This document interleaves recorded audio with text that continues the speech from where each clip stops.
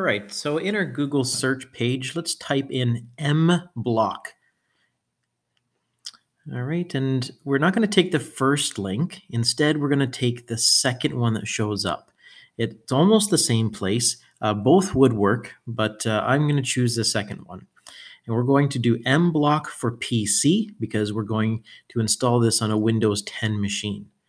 And for consistency's sake, we're going to use mBlock 3 because that's what we can also put on Chromebooks. So I see the Windows 7 and above, that's the one we want to download. And below it, I see the Chrome operating system for Chromebooks, but this one is the Windows 7. So I hit download. And I'm going to place this file on our desktop. And I'm going to hit save. And now we play a bit of a waiting game. You'll see it starts to load with the magic of editing. Mine is now ready. And ready to go to the next step. So mine in, um, is there on our desktop.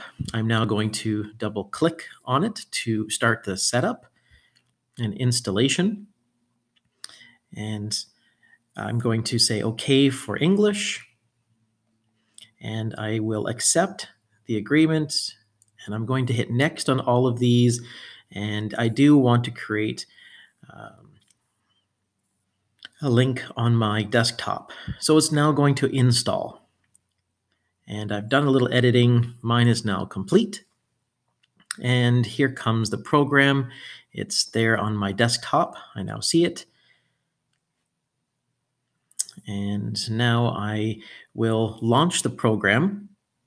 I hit finish and it's automatically going to launch, or I could double click the mBlock program. So here's our program. It looks very similar to the Chromebook one, a few little changes, but um, the, the block coding is the same.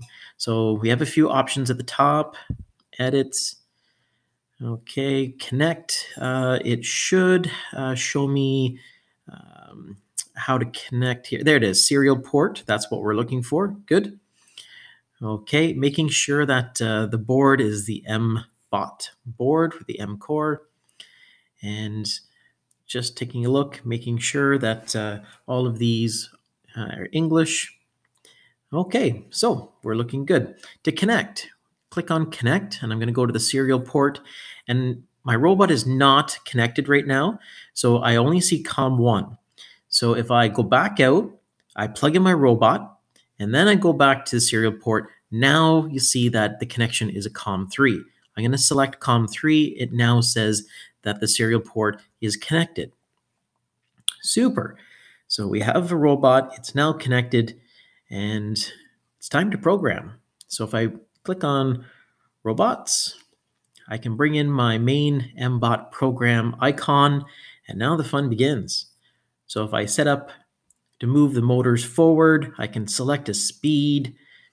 Uh, 255 is the maximum speed and here we'll, uh, let's see, maybe under uh, control, let's go forward, then we'll wait, and then uh, let's see, let's uh, set it to zero.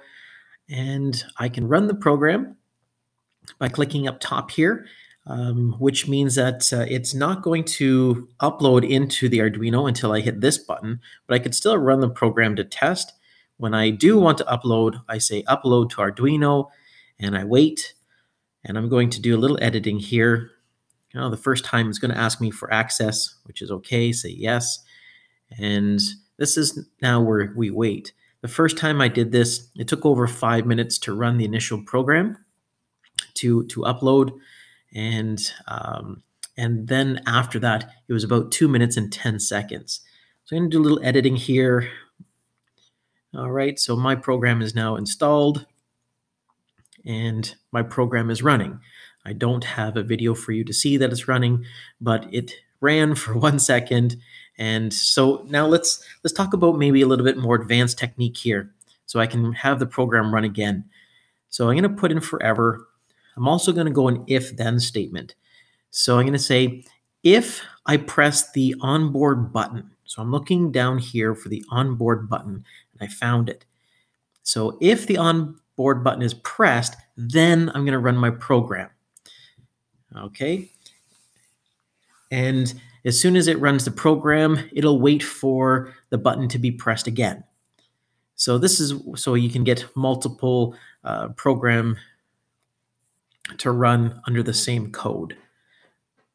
All right, so I uploaded to Arduino. Again, awaiting two minutes and 10 seconds or so. Uh, I did a little editing here. Mine is now done.